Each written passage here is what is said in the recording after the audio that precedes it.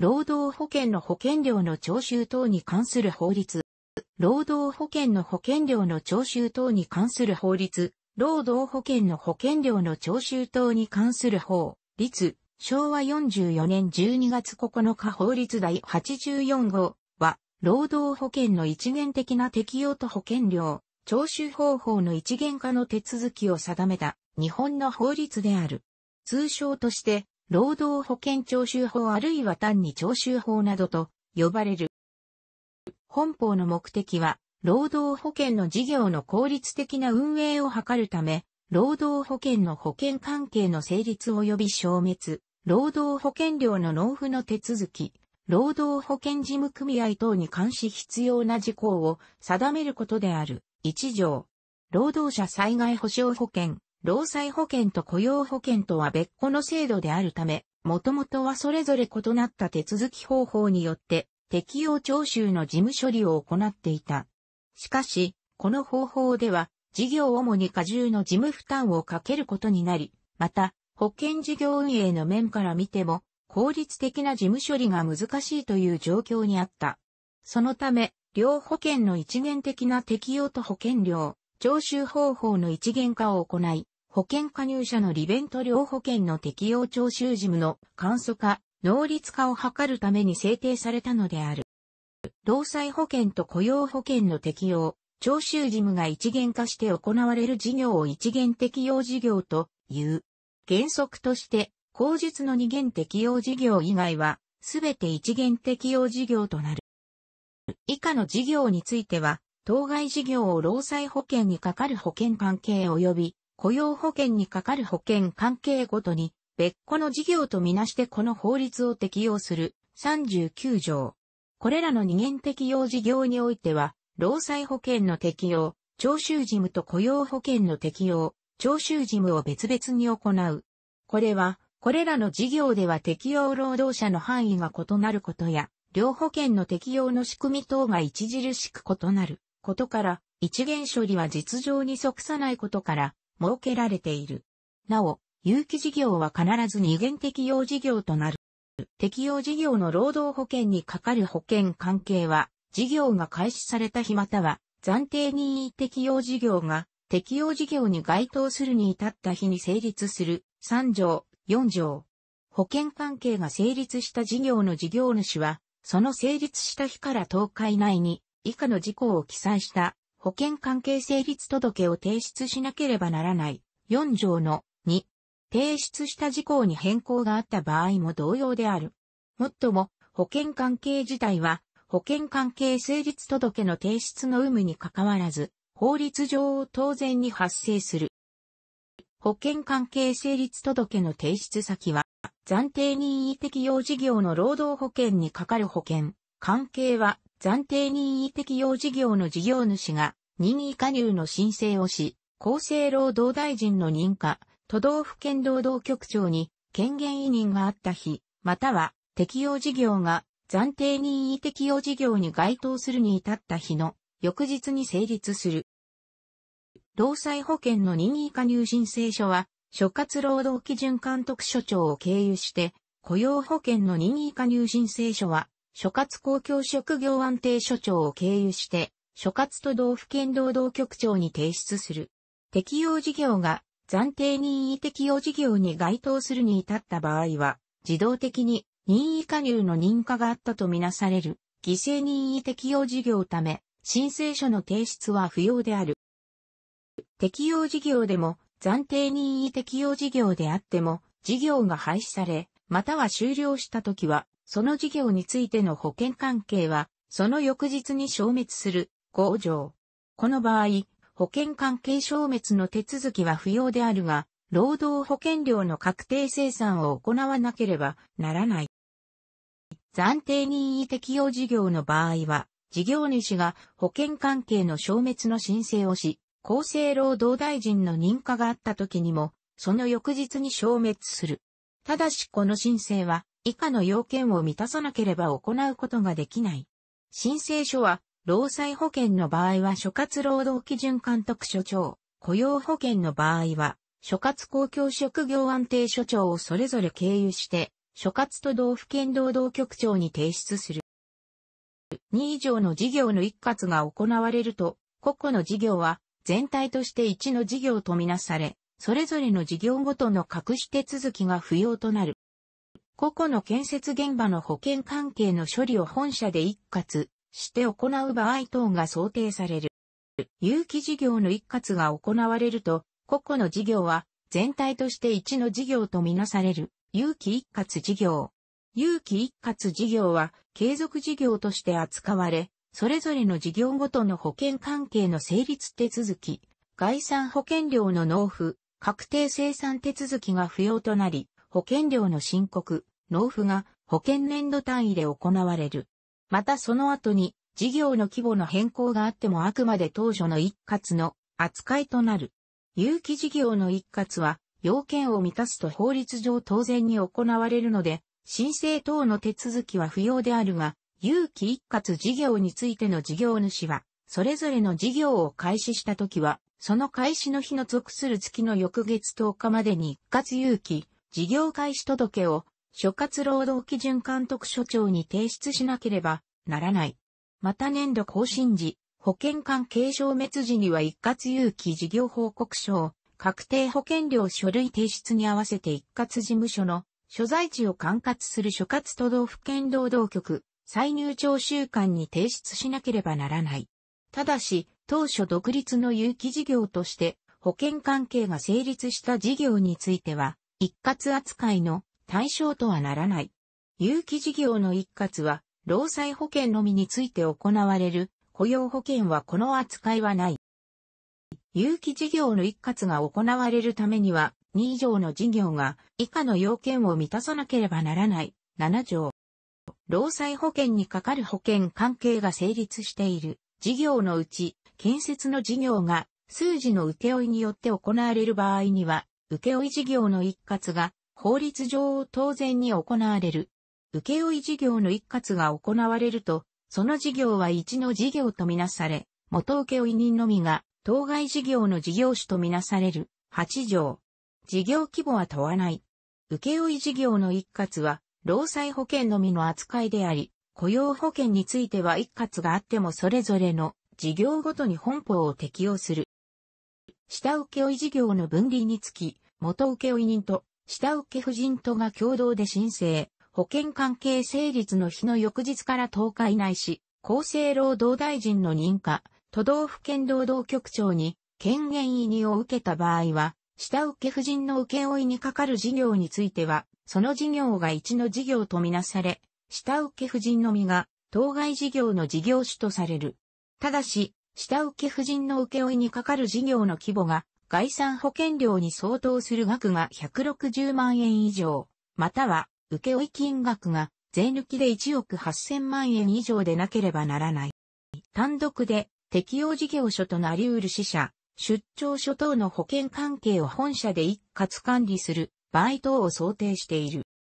事業主が2以上の事業について成立している保険関係の全部、または一部を1の保険関係とすることにつき、申請をし、厚生労働大臣の認可、都道府県労働局長に権限委任を受けた場合は、継続事業の一括が行われる。継続事業の一括が行われると、一括の認可に、かかる2以上の事業に使用されるすべての労働者は、厚生労働大臣が指定、都道府県労働局長に権限委任する、いずれか1の行、指定事業に使用される労働者とみなされ、指定事業以外の事業、非一括事業にかかる保険関係は消滅する。9条。事業の規模や地理的範囲、さらに強制適用事業か、任意適用事業であるかはない。平成22年の改正により、船員保険の被保険者についても一括の対象となった。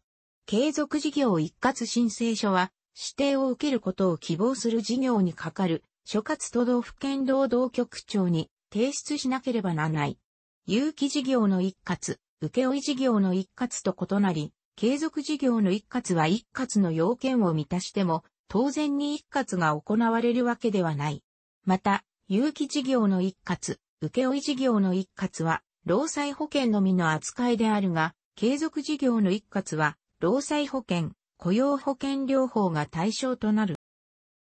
継続事業の一括が行われるためには、2以上の事業が以下の要件を満たさなければならない。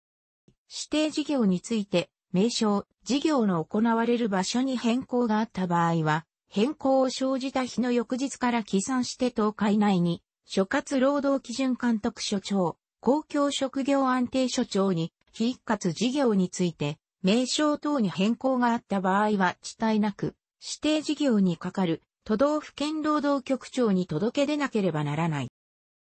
労働保険の保険料は、年度当初、事業開始当初に概算で申告、納付し、翌年度の当初、事業終了時に確定申告の上生産することになっている。概算保険料とは、年度の始め、または事業が開始された時に、その保険年度中に支払われる賃金総額の見込み額に保険料率を乗じて算定する保険料を言う。なお派遣労働者については、派遣元が保険料を負担するが、労災保険については、派遣先の作業実態に基づいて、事業の種類を決定し、雇用保険については原則として、一般の事業として、保険料率を要する、昭和61年6月30日発労印41号、揮発383号。継続事業、有機一括事業を含む。以下同じの事業主は保険年度ごとに概算保険料をその保険年度の6月1日から起算して40日以内、保険年度の途中で保険関係が成立したものについては、当該保険関係が成立した日の翌日から起算して50日以内に申告、納付しなければならない15条。有機事業、有機一括事業を除く。以下同じの事業主は保険関係が成立した日の翌日から起算して20日以内に申告、納付しなければならない。特別加入の承認があった場合の特別加入保険料に関しても同様である。概算保険料の申告、納付は概算保険料申告書を所轄都道府県労働局歳入徴収官に提出、日本銀行の本店、支店、代理店、歳入代理店を経由することができるし、納付書により、概算保険料を都道府県労働局収入管理、または日本銀行に納付する。についての、労災関係一般保険料は、労働基準監督署、収入管理を経由して、申告、納付することができる。一方、についての雇用関係一般保険料は、公共職業安定所が申告、納付事務を取り扱っていないので、経由して、申告、納付することはできない。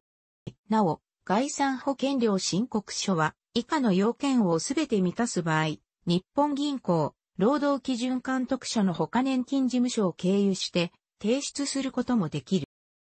継続事業の場合、その保険年度中に使用するすべての労働者にかかる賃金総額の見込み額に、当該事業についての一般保険料率を乗じて求める15条1項1号。見込み額は原則として前年度の賃金総額の同額を用いるが、見込み額が前年度と比べて2倍を超える場合や2分の1を下回る場合は、その見込み額を用いる。免除対象高年齢労働者、保険年度の初日において、満64歳以上の労働者であって、短期雇用特例被保険者、日雇い労働被保険者を除くものを使用する場合、上記の額からその保険年度に使用する免除対象高年齢、労働者にかかる高年齢者賃金総額の見込み額に雇用保険料を乗じて得た額を減じる労災保険しか成立しないため、15条の2。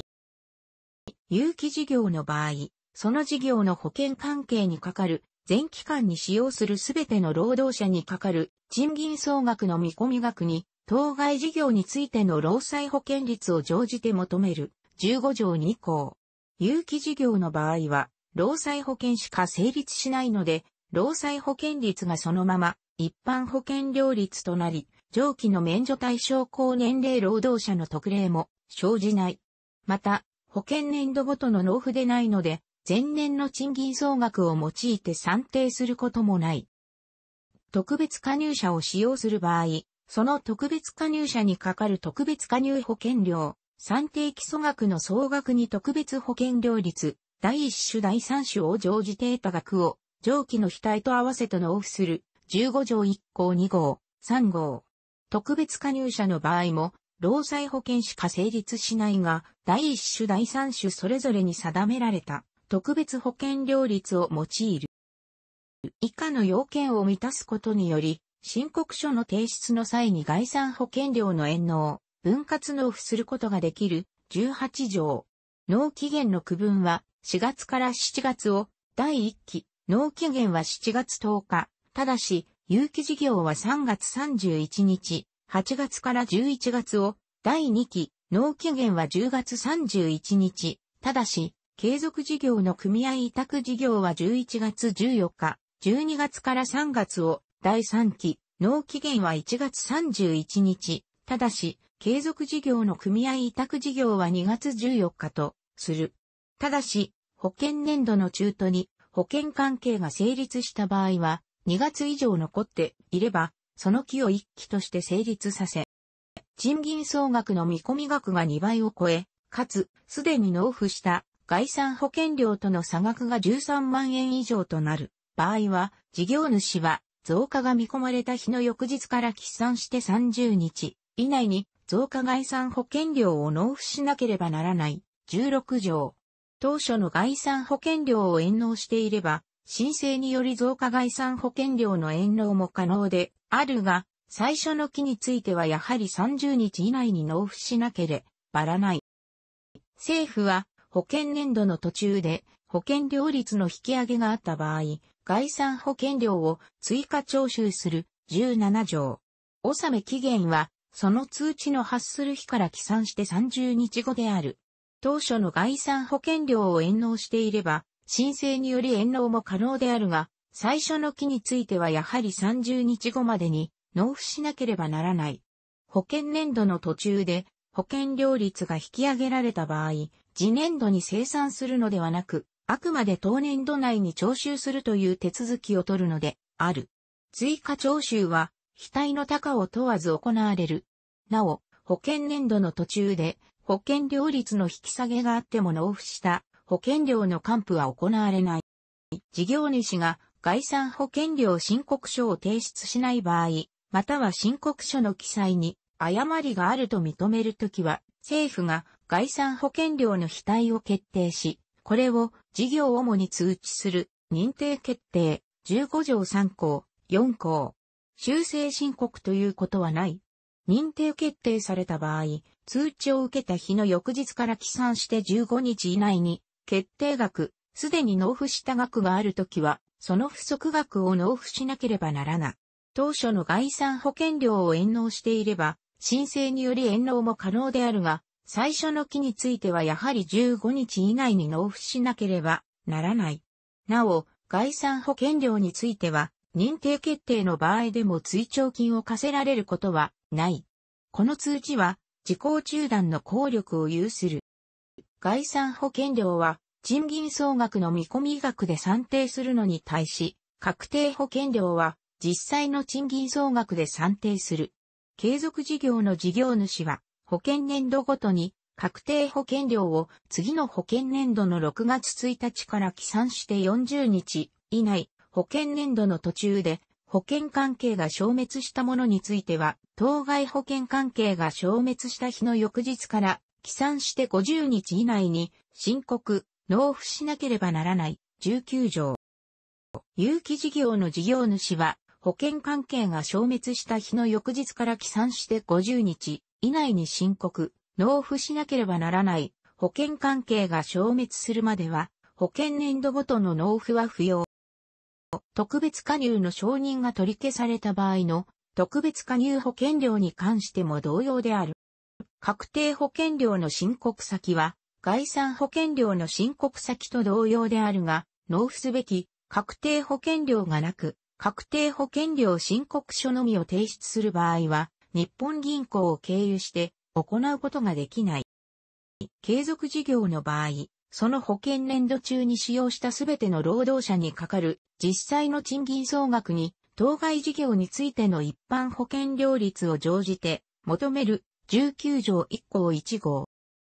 免除対象高年齢労働者を使用する場合、上記の額からその保険年度に使用した免除対象高年齢労働者にかかる実際の高年齢者賃金総額に雇用保険料を乗じて得た額を減じる19条の2。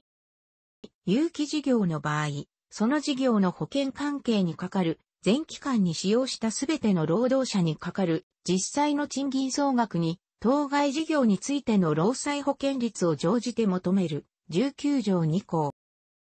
特別加入者を使用する場合、その特別加入者にかかる特別加入保険料、算定基礎額の総額に特別保険料率、第一種第三種を乗じて得た額を上記の額と合わせて納付する19条1項2号、3号。事業主は納付した概算保険料の額が確定保険料の額に満たないときは、その不足額、納付した概算保険料がない場合は、確定保険料として申告した額を確定保険料申告書に添えて、当該申告書の提出期限までに納付しなければならない19条3項。概算保険料とは異なり、確定保険料の延納はできない。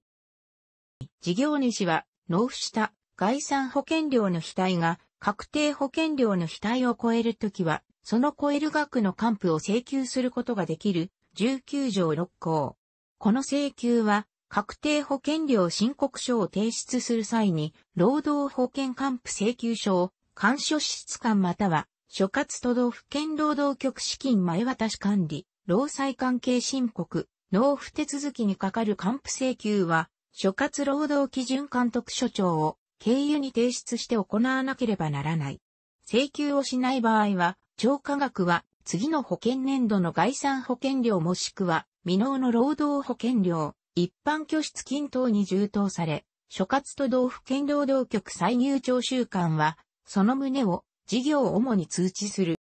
政府は、事業主が確定保険料申告書を提出しないとき、または、その記載に誤りがあると認めるときは、確定保険料の額を決定し、これを事業を主に通知する認定決定。納付した額が決定された額に不足する場合は、不足額をその通知を受けた日の翌日から起算して15日以内に納付しなければならない19条4項、5項。さらに、概算保険料とは異なり、政府はやむを得ない理由がある場合等を除き、不足額の10%の追徴金を納付するよう通知する。この納期限は通知の日から30日以内である。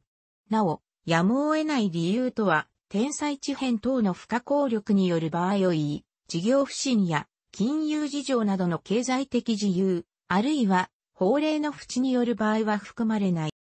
特例対象者を雇用していた事業主が雇用保険にかかる保険関係が成立していたにも、かかわらず保険関係成立の届け出をしていなかった場合には、当該事業主、対象事業主は保険料の徴収事項成立後も保険料を納付することができる。これを特例納付保険料という26条。特例対象者とは、事業主が被保険者資格取得の届け出を行わなかったことにより、雇用保険に見入りとされたもので、被保険者資格取得の確認があった日の2年前の日よりも前の時期に、賃金から雇用保険料が控除されていたことが確認されたものについて、当該2年を超えて遡って、雇用保険を適用する制度、雇用保険の訴求適用の特例の対象者である。なお、被保険者資格取得届の届け出がなされなかった事実を知っていた者は除く。また賃金から雇用保険料が控除されていたことが明らかでないものについてはこの取り扱いはない。特例納付保険料の額は対象事業主が納付する義務を履行していない一般保険料の額、雇用保険率に応ずる部分の額に限るのうち、当該特例対象者にかかる額に相当する額として厚生労働省令でめるところにより算定した額、基本額。規則第56条に厚生労働省令で定める額、加算額。規則第57条を加算した額となる。なお、基本額は以下の算式で求め、加算額は基本額の10%である。厚生労働大臣、都道府県労働局長に権限委任はやむを得ない事情がある場合を除き、対象事業主に対して特例納付保険料の納付を干渉しなければならない。干渉を受けた対象事業主は特例納付保険料を納付する旨を厚生労働大臣、都道府県労働局長に事務委任に対し書面により申し出ることができる。この申し出を受けた政府は特例納付保険料の非対を決定し、期限、通知を発する日から起算して30日を経過した日を、その納期限とするを指定して、これを対象事業を主に通知するものとされ、対象事業主は、当該期限までに、特例納付保険料を納付しなければならない。労働保険料その他本法の規定による、徴収金を納付しないものがあるときは、政府は、期限を指定して督促しなければならない。27条。督促するときは、政府は納付義務者に対して督促状を発するが、その指定すべき期限は、督促状を発する日から起算して10日以上経過した日でなければならない。督促を受けた者が、その指定の期限までに、労働保険料その他本法の規定による徴収金を納付しないときは、政府は国税滞納処分の例によって、これを処分する。労働保険料その他本法の規定による徴収金の選手特権の順位は国税及び地方税に次ぐものとする29条。実際にも督促は滞納処分、延滞金徴収の前提要件として重要である。政府は労働保険料の納付を督促したときはやむを得ない理由がある場合、工事送達による督促の場合等を除き、労働保険料の非対、一部納付の場合は、残余の非対。1000円未満の波数は、切り捨てに、納期限の翌日から、その間納または、財産差し押さえの日の前日までの期間の日数に、応じ、の割合を乗じて計算した延滞金100円未満の波数は切り捨てを徴収する28条。なお現在の低金利の状況では年14.6%の延滞金は高すぎるとの問題意識から事業主の負担軽減等を図るべく、当分の間特例が設けられ、各年の特例基準割合、租税特別措置法第93項2項の規定に基づき、前々年10月から前年9月までの各月における銀行の新規の短期貸し出場平均金利の合計を12で、助手て得た割合として、財務大臣が告示した割合に年1%の割合を加算が年7.3%に満たない場合は、とされる。平成30年の場合、特例基準割合は年1.6%、告示割合年0.6%に年1%を加算とされたので、実際には以下のようになる。ただし追徴金は労働保険料ではないので、追徴金を納期限までに納付しなかったとしても延滞金を課されることはない。保険料を徴収するにあたり、歳入徴収官が債務者に発する書面で、歳入科目や納付すべき金額、期限及び場所等がすでに記入されている。納入額が確定している。以下の通知は納入告知書によって行われる。納付義務者が自ら納付金額やいつの納付分かを記入し、保険料を納めるための書面。納入告知書による通知以外の通知は納付書によって行われる。政府は事業主から預金または貯金の払い出しとその払い出した金銭による飲酒保険料以外の労働保険料の納付、概算保険料、遠労の場合を含む確定保険料の納付に限るを、その預金口座または貯口座のある金融機関に委託して行うことを希望する。旨の申し出があった場合には、その納付が確実と認められ、かつ、その申し出を承認することが、労働保険料の徴収上有利と認められるときに、限り、その申し出を承認することができる21条の2、継続事業、有機事業のいずれの場合も含む、口座振替の場合、金融機関に納付書または電磁的記録が到達した日からに取引日を経過した最初の取引日でに納付されていれば、納め期限後であっても期限内に納付したものとみなされる。口座振替への申し出は、所定の事項を記載した書面を、所轄都道府県労働局再入庁週間に提出して行うこととされ、申告書を日本銀行に提出することはできない。なお、増加概算保険料、認定決定された概算保険料、確定保険料、追徴金については、口座振替による納付の対象となっていない。労働保険料その他本法の規定による徴収金を徴収し、またはその還付を受ける権利は2年を経過した時は時効によって消滅する41条。政府が行う労働保険料その他本法の規定による徴収金の徴収の告知または督促は時効中断の効力を生ずる。それゆえ納入告知書に指定された納期限の翌日から新たな時効が進行することになる。徴収する権利の時効には遠用を要せず、またその利益を放棄することができないとされるので、時効成立後に納付義務者がその時効による利益を放棄して徴収金納付する意思を有しても、政府はその徴収権を行使できない。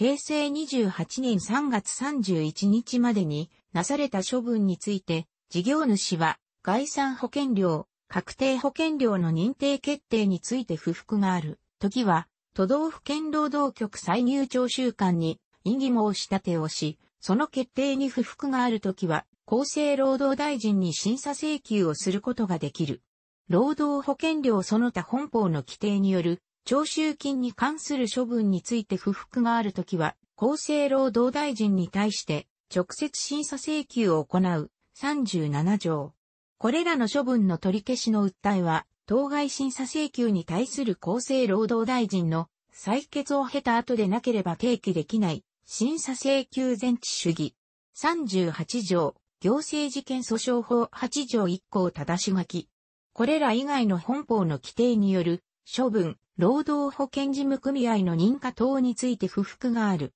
時は、厚生労働大臣に対して直接審査請求を行うが、この場合は審査請求前置主義は適用されないので、審査請求をせずに、あるいは審査請求と同時に、処分の取り消しの訴えを提起することができる。